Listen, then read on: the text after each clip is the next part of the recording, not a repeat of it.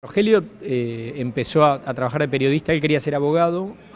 en la década del 50 empezó a estudiar Derecho y de pronto eh, se dio cuenta, eh, lo, influyó mucho lo que pasaba en la Segunda Guerra Mundial, etc. y decidió que lo, lo, que le interesaba era el periodismo.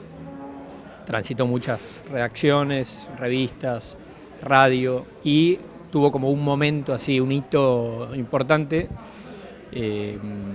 que fue cuando se, eh, Massetti armó la, agencia Prensa Latina, convocó a un grupo de periodistas, entre los que estaban Rogelio y Rodolfo Walsh, y les contó, les dijo, bueno, eh, hablé con el Che, hay recursos, queremos armar una agencia de, noticias con alcance latinoamericano y si se puede internacional. La mayoría dijo que no, y Rodolfo Walsh y Rogelio dijeron que sí, y se sumaron y estuvieron dos años, un año y medio, casi dos, en La Habana. Rogelio es mi padre, mi papá, eh, yo le, digo Rogelio cuando hablo de él, digamos. Eh, tuve una relación, eh, digamos, no tradicional, porque se separó de mi mamá al año que yo nací, entonces tuve muy buena relación, pero un poco más de visitante. Tiene, por un lado, como una, un oficio, digamos, una manera de hacer periodismo que yo no, en parte desconocía, eh, que es muy artesanal, eh, digamos, con,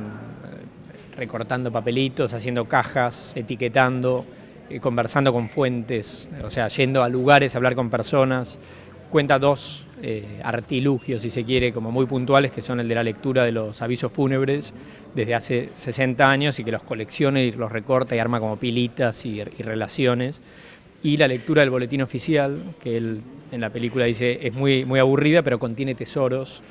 porque de pronto, bueno, ahí es la información oficial y que no, y que no sale a la luz salvo que, que, suceda un escándalo o algo, pero mientras tanto hay como toda una trama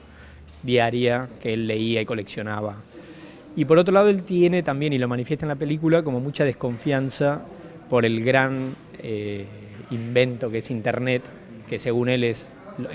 los periodistas echan mano primero que todo de internet, o sea, si hay que hacer una nota sobre Ramón Fernández, lo primero que haces es googlear a ver qué sale. Me interesaba combinar las dos cosas, eh, su, contexto personal eh, con su trabajo que estaba haciendo en ese momento, eh, qué pasaba históricamente en ese momento. Cuando hablo con periodistas